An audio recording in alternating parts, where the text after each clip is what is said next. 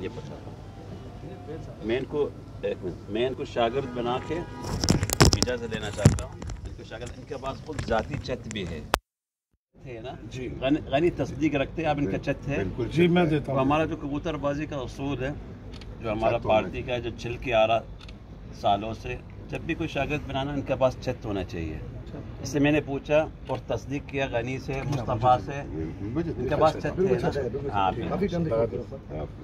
अगर आप लोग इजाज़त दे मैं इनको शागिर्द बना जी, के- इजाज़त है सर। साहब, बिस्मिल्लाह माशाल्लाह मुबारक मुबारक माशाल्लाह रसूल